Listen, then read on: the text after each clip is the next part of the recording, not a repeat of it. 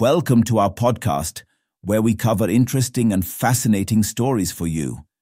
In this episode, we will discuss revolutionary discovery, common mouth bacteria found to melt away cancer cells.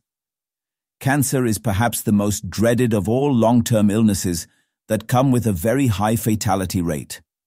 Now, a group of scientists have made a groundbreaking discovery that a common type of mouth bacteria can potentially melt certain cancers.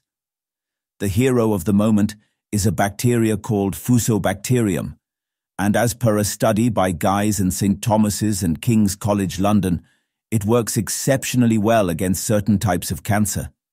This surprising finding could pave the way for new treatments, particularly for head and neck cancers. The study, led by Dr. Miguel Reis Ferreira, a consultant in head and neck cancers, revealed that, in essence, we found that when you find these bacteria within head and neck cancers, they have much better outcomes. The other thing that we found is that in cell cultures, this bacterium is capable of killing cancer.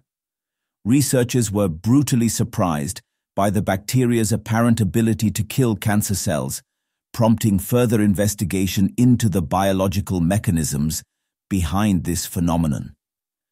What we're finding is that this little bug is causing a better outcome based on something that it's doing inside the cancer. So we are looking for that mechanism at present, and it should be the theme for a new paper in the very short-term future, he added, as reported by The Guardian. This research reveals that these bacteria play a more complex role than previously known in their relationship with cancer, that they essentially melt head and neck cancer cells.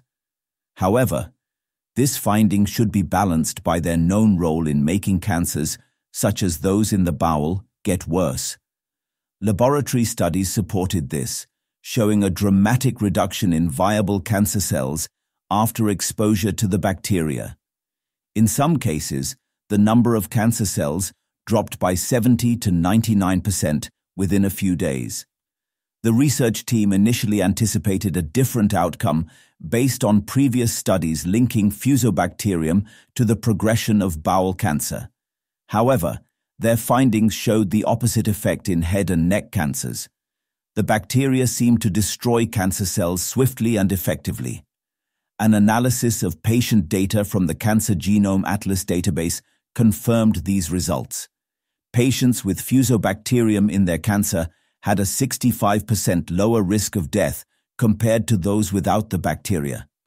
This significant finding suggests that Fusobacterium could play a crucial role in future cancer treatments.